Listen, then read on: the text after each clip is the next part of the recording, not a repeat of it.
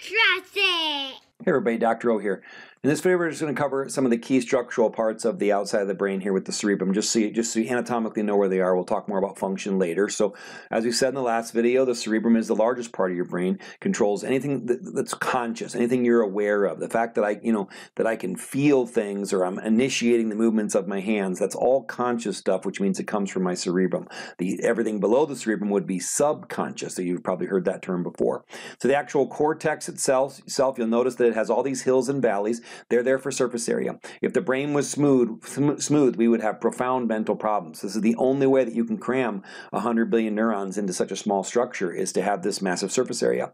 So uh, you see that the little, the little teeny, the little teeny valleys or depressions there would be called a sulcus or a sulci would be the plural. Uh, the hills or these ridges would be called a gyrus or, or gyri. Um, and then you, you, do have a deep a deep groove called the longitudinal fissure, which I'll show you in a, in a separate video here. So I've, I've, already told you what they do. They allow, allow you to have more gray matter, to have more neurons. Okay, so as far as let's let's go ahead and look at speaking of gray matter versus white matter. Here's a slice of a brain, probably from a sheep or something. But uh, so gray matter on the outside, white matter on the inside. So gray, obviously, grow gray matter is the name of the name of the channel. But the gray matter is where information is processed. So when you think gray matter, think informational processing. That's where the cell bodies of neurons are. White matter, think transportation. White matter carries information to and from your nerve parts, different parts of your nervous system. White matter is white because it's full of fat, and fat and the fat is white, and that's because the, the axons here that are traveling to and fro are myelinated and they're covered with fat, so that's why it's white. So gray matter, think cell bodies, information processing. White matter, uh, think fat for myelin, and think of uh, carrying information. So gray matter is, is located in two places. We primarily think of it in the cerebral cortex here on the outside, but it's also located inside the brain in an area called the basal nuclei. We won't talk about them much, but just so you know, there is some gray matter, like the you see the caudate and the putamen. Those are examples of gray matter inside the brain as well. So that's gray matter and white matter. Uh, here we see that longitudinal fissure I was telling you about, so that deep groove in the middle that separates the right and left cerebral hemispheres. We'll talk about the corpus callosum and the internal structures that connect them in another video.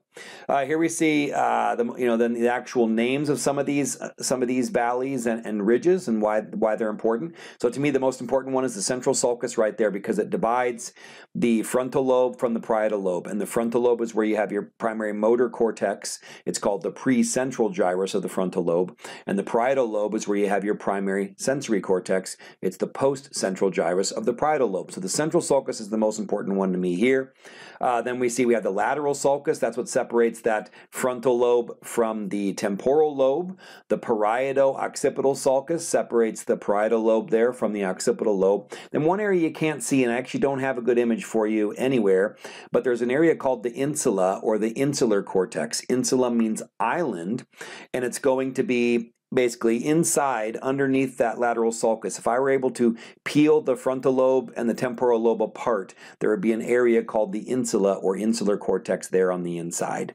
All right, that's everything I had. Like I said, I wish I had a good picture of that, but that is that is an important lobe. We'll talk about what these lobes do in the next video. I hope this helps. Have a wonderful day. Be blessed.